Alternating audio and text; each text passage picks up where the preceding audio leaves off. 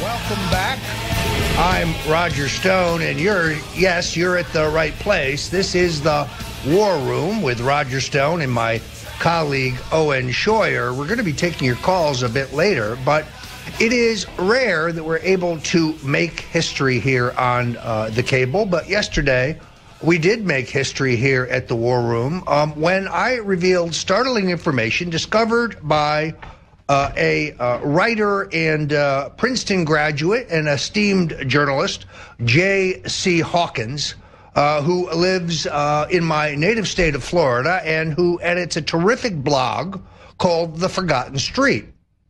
Now, Mr. Hawkins has written an extraordinary book called Betrayal at Bethesda.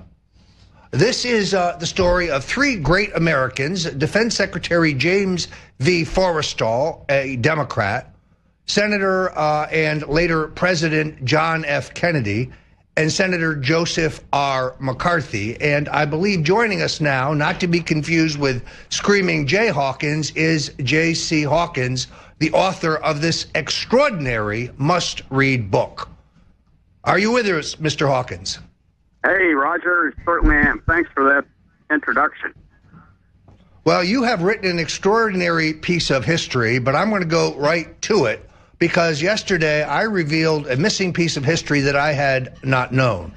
Now, as you know, uh, the Central Intelligence Agency and their longtime moles in the media, who they were paying then, according to the most recently declassified documents, and they are probably playing today, insisted that our Bay of Pigs invasion failed because JFK refused to order uh, air support for our men, or I should say, the Cuban men we had trained who were storming the beaches of Cuba. What I learned in your incredible book is uh, that uh, what had been covered up by the president's critics is the fact that the president had left a standing order uh, and that uh, modified B 29s, which I have been able to learn through my own research, were to be unflagged, piloted by anti Castro Cubans flown out of Nicaragua, were supposed to take a preemptory strike at the Cuban Air Force, the T 33 jets uh, that Castro had on the ground, thus giving our men at the beach a fighting chance. And that that order was called off by McGeorge Bundy McGeorge Bundy uh, in a phone call to, uh, I believe it is Charles Cabell. Uh, I may have that wrong. It was one of the Cabell brothers of the CIA, the other brother being mayor of Dallas. Now, this is extraordinary news. Uh, the point, of course, of this is that we knew that Kennedy had agreed to the Bay of Pigs operation only if it looked, at least on the outside, like an indigenous uh, Cuban uprising. It was not to have the imprimatur of the United States. The attack, uh, uh, the air support by American jets on the beach was not part of the operational plan and should have needed to be had the president's order been carried out. Ladies and gentlemen, this is extraordinary history. Mr. Hawkins, my hat is off to you. Well, thanks, Roger. The interesting thing about it was when JFK became president, he was presented with this plan, which had already been approved in the Eisenhower administration and cooked up by Allen Dulles of CIA. He had misgivings about the plan, and they were pushing him to have the American military get involved with air cover for the exile invasion. He was not at all comfortable with that and was willing to go along with the plan for the Cuban exiles to fly in from Nicaragua and take out the uh, Cuban Air Force for the landing on the beach. The interesting thing is, of course, Bundy canceled that behind his back. And uh, that's something for more and more histor- historians to dig into is what was that all about? Well, I don't need to tell you. Bundy is, of course, the McGeorge Bundy is the brother of William Bundy, uh, who was a target of Senator Joseph McCarthy in his initial probing as to communist influence in the CIA. It was really McCarthy's threat to the Central Intelligence Agency that drove Eisenhower uh, uh, to the conclusion that McCarthy had to be destroyed. And you make an extraordinary case in this book that McCarthy checks into a military hospital with a banged up knee, which he has hurt uh, as a war injury and then exacerbated playing touch football. According to a Life magazine piece that I was able to find, he goes into the hospital for a sore knee and six days later, approximately, he is dead of acute uh, hepatitis.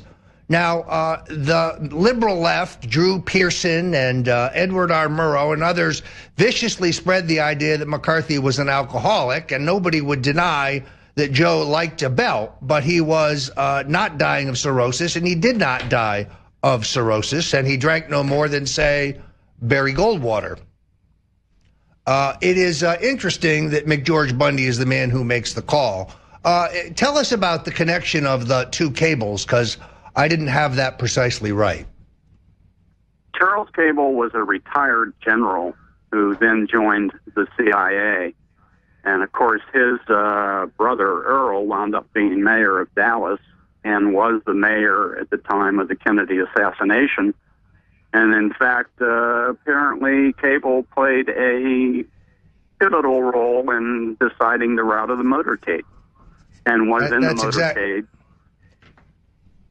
that's exactly correct. Earl Cabell being being part of the same Johnson syndicate, which controls the the uh, Dallas County prosecutor, the Dallas City Police, the Dallas County Sheriff's Office, uh, and of course, uh, in 1963, crime, murder, the murder even of the president, under uh, is not a federal crime but a state crime. Therefore, the examination leads uh, immediately to the Johnson ring. Uh, I really found uh, the revelations about the connections between the Kennedy family and Joe McCarthy revelatory. I knew that Robert Kennedy uh, had worked uh, in the Senate under McCarthy. I was unaware that uh, that they were present at McCarthy's funeral. That the Kennedys, one of the Kennedy sisters, was a bridesmaid in Joe McCarthy's wedding. I knew that Fighting Joe had dated two of the Kennedy sisters. Now, in this new book that's out on the streets now, how Robert Kennedy became a liberal icon, none of that is curiously mentioned. The fact that Robert Kennedy was a staunch anti communist, that was never mentioned in this book. There is no question that he has a swing uh, to the left after the murder of his brother. He is probably uh, dealing with the fact that at least on some level he is partially responsible. Uh, but your your uh, your delineation of the McCarthy Kennedy relationship was one of the highlights of this book. Well, it really uh, started in some respects with the father Joe, who was a staunch anti-communist, and of course got himself in trouble when he was ambassador to Great Britain for arguing that uh, it would be folly to get in a war with Hitler and that Hitler should be encouraged to go after the Soviet Union. And uh, that was when, you know, he really played his cards as a staunch anti-communist. But I found something in my research that I had not seen, you know, anywhere previously were reports that when Jack Kennedy and Joe McCarthy were in the Marshall Islands in the South Pacific in World War II, that they met then and hit it off. And there was one report of McCarthy going out on a PT boat with Kennedy and getting a chance to fire the machine guns. And it wasn't PT 109, which had already been sunk. I think it was, I believe, PT 52 that was the new command that Jack Kennedy took over. But the fact is, they may have begun a friendship then, but I hadn't found that until, you know, within a few months of uh, completing the book. It was something I added uh, pretty much at the last minute. Well, uh, that is extraordinary. As I recall, McCarthy would later tell a friend that JFK let him shoot the guns. Uh, an extraordinary piece of scholarship. Uh, J.C. Hawkins uh, with the very highly recommended book, Betrayal at Bethesda. You can get it at the Stone Cold Truth store. Go to stonecoldtruth.com. Soon be available at the InfoWars call. Congratulations on this amazing achievement. Roger, I greatly appreciate it. It means a lot coming from you, given your own authorship of a number of great books, and I'm looking forward to getting a copy of Tricky Dick when it comes out. Uh, I, be my pleasure to send it your way. You're at the War Room, and I'm your host, Roger Stone.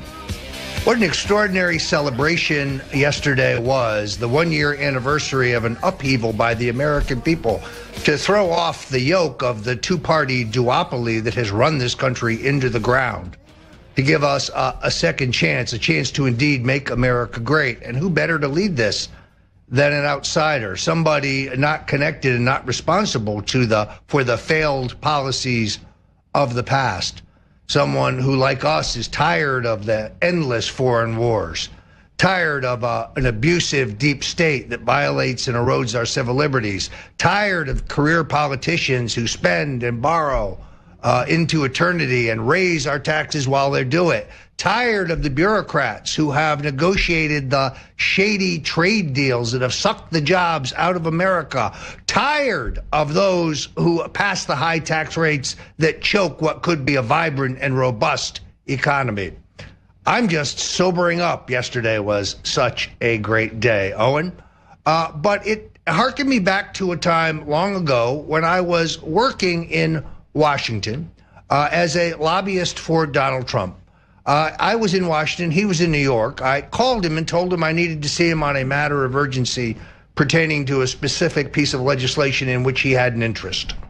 Uh, and he told me no, that he had to fly to Atlantic City with a number of his executives by helicopter and asked if I couldn't come the following day.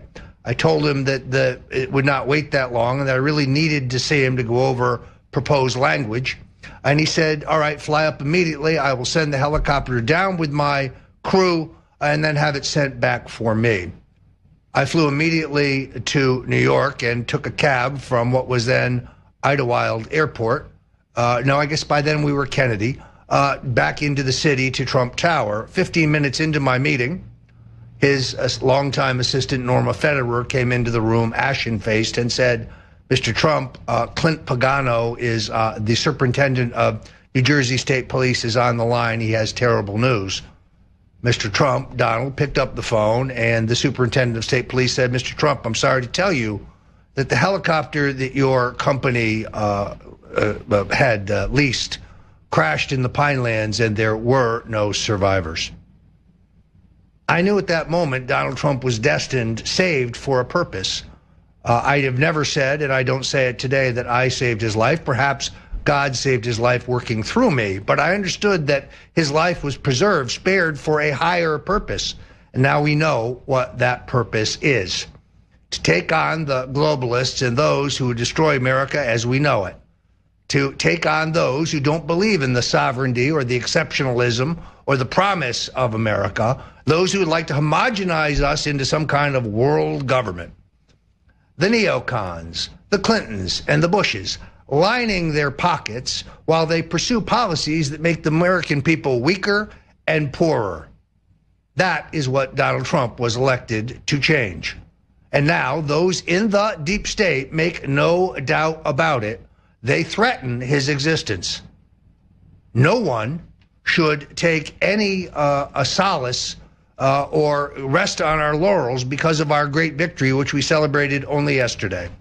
Now, the greatest challenge will come. Mr. Mueller is the Lord High Executioner for the neocons. He has done the dirty work for the Clintons and the Bushes from BCCI to the mortgage meltdown to Uranium One. Let's not forget 9 11. He is the executioner for the deep state, and he has Donald J. Trump in his sights. It scares me because I don't know that General Kelly and those immediately around the president have made him fully aware of the danger that Mr. Mueller, a runaway prosecutor, poses. So we shall see.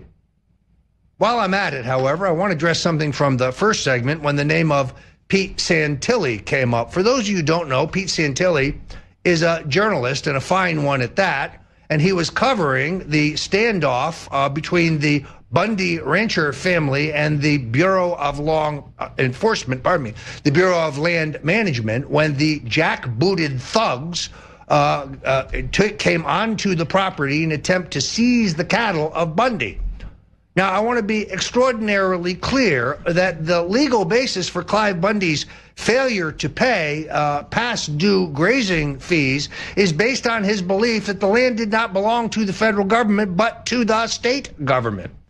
Judge Andrew Napolitano confirms this that they that the idea that lands that are not owned by the state or a private owner are automatically owned by the federal government is false. But you see, Clark County, where Bundy was ranching, he was the last rancher family left. and Senator Harry Reid wanted this land for a solar power project. So Bundy was treated like a common criminal. And here's what we know Cliven Bundy tried to pay his grazing fees to the Clark, Clark County clerk, to the state of Nevada. So the idea that he was a deadbeat is a lie because he believed legally that's where they should be paid. What's going on in the Bundy trial is a travesty. Judge Gloria Navarro refuses to let them choose their own counsel, denies them pretrial release. They've been in prison now almost close to two years, despite the fact that none of the men, the Bundys or their supporters, have criminal records. They're not allowed to call witnesses in their own defense. They are not allowed to have a summation by their lawyers. They are incarcerated and kept in shackles in the courtroom. This is the oppressive boot of the federal government. And therefore, I urge you to go to stonecoldtruth.com where we have a petition that you can sign to President Donald J. Trump. There is a way to get justice in this case, folks urge President Trump to review this case and pardon the Bundy ranchers and their supporters. Pete Santilli did nothing other than cover a story. He was improperly and falsely arrested. He is a journalist. He wasn't waving a gun, he was waving a camera. And so much for the Bundy drama. Owen, how are you doing? Doing just fine. I love to uh, see you fired up here. We are celebrating the MAGiversary. We're bringing a close to our 34 hour broadcast. We're about to take a break here, Roger. I know you wanted to get into some calls on the other side, but I'm just curious. I, I covered this in the first hour. Everyone's accusing everyone in Hollywood of this, that, sexual assault, and the other thing. Now you've got Roy Moore being accused. He says it's fake news. Mitch McConnell is already jumping on it, saying he needs to step aside if true. Roger, what is this age we're living in where you just say, he touched me, he looked at me, I feel like I was assaulted, and then it's just a truth with, with, with no court, no jury, no litigation, nothing. It's just you accuse and then it becomes real. Well, look, I, I want to reserve judgment until I see the facts. All I've seen is a headline. Uh, in the case of Donald Trump, insinuations were made, and they had no factual basis. Uh, in the case of Bill Clinton, there were many instances where he wasn't legally charged, but there were witnesses and women willing to come forward and other credible supporters and other supporting witnesses. So I do think if you're going to take the crimes of Harvey Weinstein seriously, and we do, each individual situation must be judged. Right now, all I've seen is a charge. Now, if this is a credible case, I frankly think that Roy Moore would do himself and the president uh, a service. But if he steps down, do not replace him with a quisling. Of... Welcome back. I'm Roger Stone, and you're here in the War Room at InfoWars. From time to time, I have to remind the Patriots, the Info Warriors, that freedom isn't free. Uh, and that we are the tip of the spear. We are the leaders among libertarian oriented Americans in our opposition to the global, uh, uh, uh the globalists and their neocon allies who would uh, end America as we know it we are in a vital struggle for the future of Western civilization. And we don't have a David Rockefeller or a George Soros or some other hedge fund billionaire like Paul Singer writing us multi million dollar checks uh, to spread the word. We have to defend, depend on the individual info warrior and other like minded patriots to go to the Infowars.com store uh, and look at the extraordinary products that we carry. Uh, I myself love the First Amendment oriented t shirts. And right now, every t shirt you find on the site uh, is at 50% off. Now, the important thing to recognize is that this includes the, uh, the iconic Bill Clinton rape t shirt. This t shirt will end up in the Smithsonian, folks. This is the t shirt that I designed and Alex Jones told the world about when he posted $250,000 in a contest in which anyone wearing this shirt who got on TV got $1,000. And if they were able to audibly say Bill Clinton is a rapist, they got five. This was the guerrilla tactic that we used to break the news blackout of the mainstream media, who tried to explain the former president's antics as infidelities or indiscretions. No, they were assaults and violence against women and rape, and this was the only way to let people know it. Every time I go to a book signing, every time I go uh, to a Proud Boys rally, every time I go to a Tea Party gathering, the number of rape t shirts warms my heart. So please, now there's an extraordinary price at $9.98. These will end up in the Smithsonian. There is no question whatsoever that we are not going to print more. This is the last run. These were made during the fight against Hillary Clinton and the atheistic, godless, communist rule that he would she would have brought to this country. So folks, go to the site now and support Alex Jones in this extraordinary expansion. Now, every day, 10 hours guaranteed. Owen Schroyer, Roger Stone. This is great, great stuff. And it's only because you loyally support us at the site. And it's a win win. You will never buy anything on this site that doesn't have many testimonials, isn't rigorously tested to be the best of the genre. You can find other male vitality uh, uh, formulas. There's plenty in the drugstore, but none with the quality and the strength of super male vitality, which today, 50% off. Michael Zimmerman wouldn't be caught dead without this product. And when used uh, synergistically with Anthroplex, you get a turbocharged result. These prices will not last very long, folks, so please go to the site and help us out. Owen, uh, I think we have some folks on the line, and um, this is my favorite part. Our number, for those who don't know, 888 201 2244. Uh, if you want a question for Owen, Owen, right off the bat, I must tell you that tie is a complete winner. Complete winner. Very uh, old school Harvard feeling. Uh, and, uh, you know, since Owen replaced Jake Tapper on the international best dress list, uh, I hear that fake, I mean, Jake Tapper is very upset. So, Owen, let's that go explains to the a lot. Board. What do we got? It does. That explains a lot. Let's start off with Andy in Nebraska, who wants to talk about all the sexual Hello, abuse coming out of Hollywood. Yes, go ahead, Andy.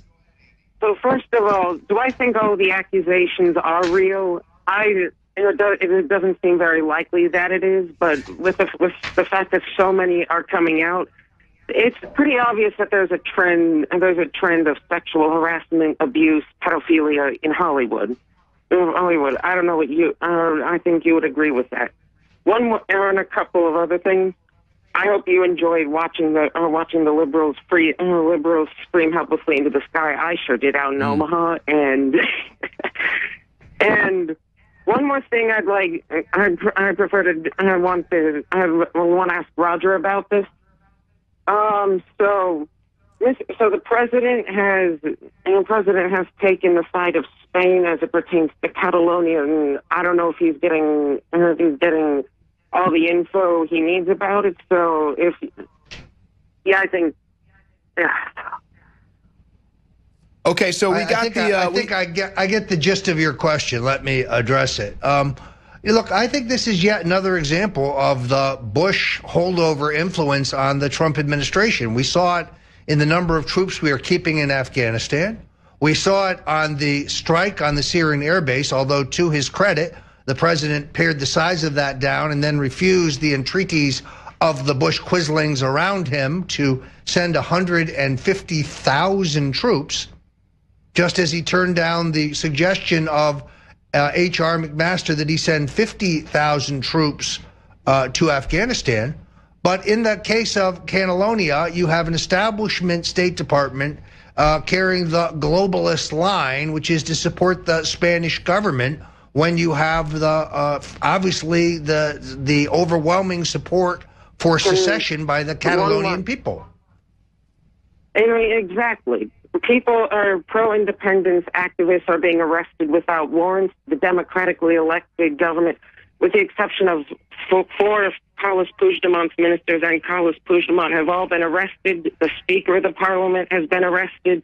The Spanish police violently attacked Catal- uh, Catalans who only voted and only voted in the referendum. I think, uh, no, I this think, isn't uh, not. all this information is getting to Trump, and I think that I think if it does get to him, that we could actually see some real good come out, uh, come out of that region. Well, let me say this. I think Julian Assange's reporting on this has been extraordinarily courageous. He is one who actually um, runs a risk by alienating the Spanish government. Uh, yet he does what's right, and he, he has championed uh, and put forward a lot of information that is supportive of the freedom fighters. This proves that he is a journalist and in no one's pocket. If he were, he'd be currying favor with the Spanish right now to try to uh, save his asylum, where Ecuador is under extraordinary pressure to turn him out in the street, where, of course, the deep state would like to lynch him. Mr. Assange's sin, very simple, Owen. He's a journalist, and he reports the truth, and the truth hurts the globalists and the neocons. They loved it when the truth embarrassed George W. Bush, but now when it embarrasses the Clintons and Barack Obama and the deep state, not so much. Yeah, they really like to have a veil of secrecy, Roger. And what Julian Assange has essentially done with his journalism is he's removed some of those layers and he's exposed what these people are actually saying, thinking, and doing behind closed doors. And of course, the establishment can't have that. It was terrible for the Clinton campaign in the last election. And I'm not surprised that they want to demonize Julian Assange. And as far as, you know, Trump and his thoughts on Spain, I, I know that I follow, you know, Trump's actions just as much as you do and everything he says. I, I would say that until Trump makes a loud statement that is to the point and right on target and actually addresses this head on, I don't really, I don't really consider President Trump as addressing it. Uh, maybe he's made a comment here or there that seems to be leaning one way or the other. But until President Trump attacks an issue head on, I, I think that that's when you can really understand what Trump is thinking as far as these things are concerned. Roger, uh, final 20 seconds. Your thoughts? Uh, I totally agree. The president tells us that he is for legal marijuana. Jeff Sessions keeps insisting they're going to crack down on it. The president has not yet spoken. So we will wait, and we will hear from president, and he says it, and then he follows through every time. That's why we voted for him. Another segment with Roger. All right, welcome back to the War Room. We've got Roger Stone on, and Roger just went into his Super Stone booth did a 360 and came out in his Superstone attire. Roger, my goodness. I want to point out uh, uh, to you, Owen, that this is the in your face InfoWars shirt. There is something about this shirt, and we're going to give you a good solid look at it. There's something about this shirt that drives the libtards wild. Today, two of them accosted my grandson and I as we were getting out of the car at a local oh my gosh. shopping center. Let's just say it did not go well for them. In any event, uh, this shirt, like all of the shirts at the InfoWars store, now at 50% off. This one is my personal favorite. It seems to inflame liberals to a stake of foaming. They foam at the mouth when they see this shirt. It's hard to really explain. But um, like election night, when I enjoyed their discomfort, when uh, there's nothing that tastes better than the tears of liberals, as our colleague Paul Joseph Watson would put it, this has emerged as my favorite T-shirt. Let's go back to the board here and see who we have uh, who has questions for the great Owen Schroyer or myself. It looks like Lee in New York is going to be next up. Go ahead, Lee. Hey guys, I'm glad you guys got me on the show tonight. I'm a fellow New Yorker, and uh, you know, I'd like to maybe meet Mr. Stone one day, and you know, just uh, have a rap and exchange of the mind. But my question, or my point, was, uh, you know, the Las Vegas shooting.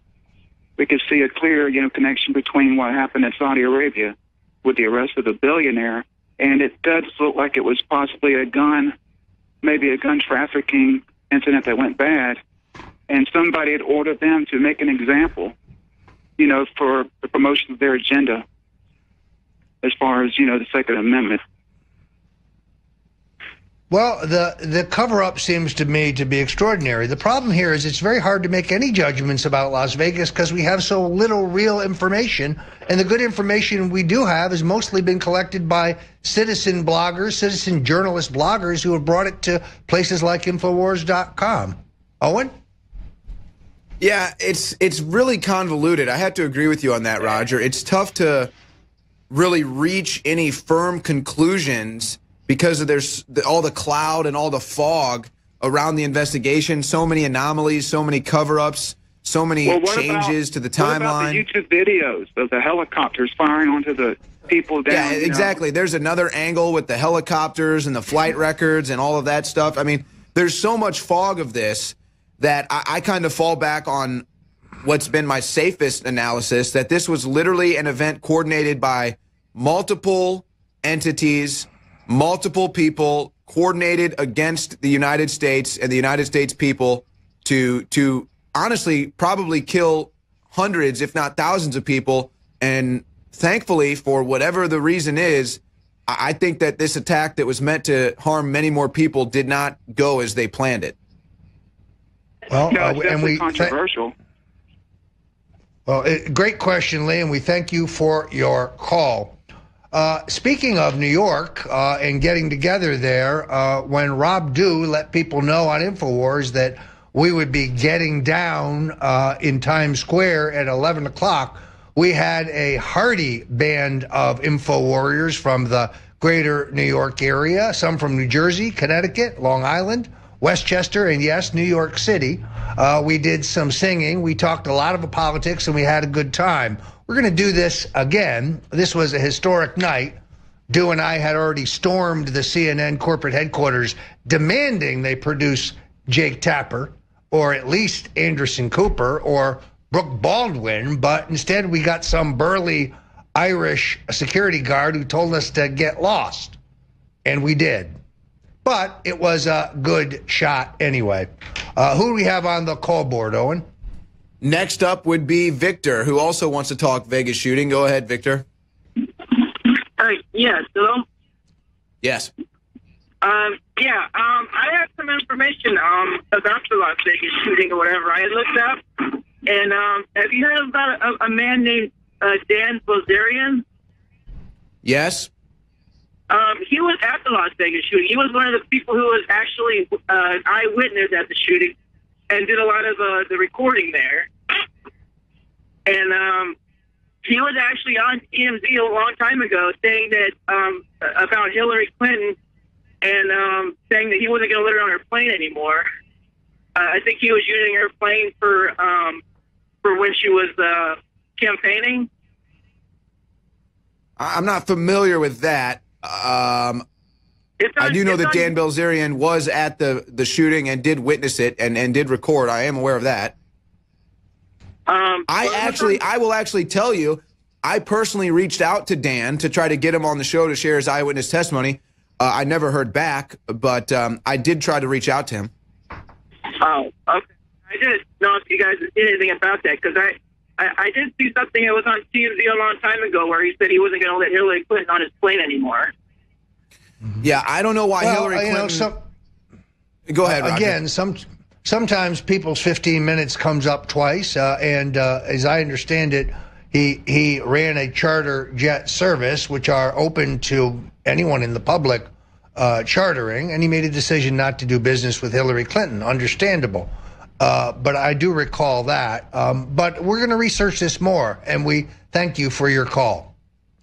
Uh, the uh, other thing I would tell you, Owen, that I was very pleased about is uh, the uh, Salon and um, the Business Insider and others have correctly reported that my legal bills for my uh, being questioned in the House and Senate Intelligence Russian witch hunt, plus the completely phony lawsuit ginned up against me by the Obama blessed front group uh, Project for Democracy, which is essentially using this frivolous harassment suit for fundraising purposes. My legal bills finally hit uh, $497,000. Uh, and uh, I have not yet even given testimony to the Senate, which I may yet be called for. Alex Jones very graciously and generously sent $10,000, the one of the first donors to the Legal Defense Fund. But if you want to help the Stone family out, you can go to stonedefensefund.com, uh, and every penny uh, will be appreciated. There are at least uh, three stories up on the internet. One tells you I'm worth 40 million. One tells you I'm worth 20 million. To which I say, I wish. Uh, this is a burden on our family, and we appreciate the support of every Trump supporter and every info warriors. And I gratefully appreciate the support of Alex Jones for his very generous contribution. Roger, while we're on that topic, Tom Fitton from Judicial Watch has filed a FOIA request to get the financial details as to how much money is being cost the taxpayers because of this Russian collusion probe. I can only imagine if your legal bills have reached almost half a million, what the legal bills that Roger Mueller is racking up could possibly uh, be reaching. I mean, what do you think about that? I think you mean Paul Manafort, correct? Excuse me. Uh, yeah, Mueller searching into Manafort. Yeah. Yeah, no, look, Man- Manafort and his sidekick, uh, Rich Sancho Panza Gates, have racked up tens of, of uh, I would say Manafort is in the multi million dollar category easily. Three, four. That's the whole point, is to break him, to try to make him tell Robert Mueller what he wants to hear that the president was colluding, uh, that Manafort was colluding with the Russians, and that Trump knew and approved. He's not going to do that. I think it's just the fact that all of the charges against him, none of them relate to tax evasion and none of them relate to Russia. Ukraine is not Russia. Manafort's work in Russia was 100% legal. Money cannot be laundered if it is not dirty to begin with. As long as he paid taxes on it when he brought any amount of money or paid for things in the United States, then he is not in violation. This is a weak indictment, but it is arm twisting by Mr. Mueller. Well, I'd like to see this be turned on Mr. Mueller. I'd like to see him have to release the financial records of how much this is costing the American taxpayer. And honestly, it's time for the investigation to be turned on him, but he won't recuse himself, but Jeff Sessions will conveniently. Final seconds, Roger yes. Stone, parting words. Yes, uh, bravo for Judicial Watch. Tom Fitton's a good man. He runs a great organization, and they are worthy of your contributions. They do great, great work. No doubt, as does Roger Stone with us on the War Room every day here. So we take a break now. Final segment, excuse me, final hour on the other side. We're joined by Stephanie Hamill. Don't go anywhere.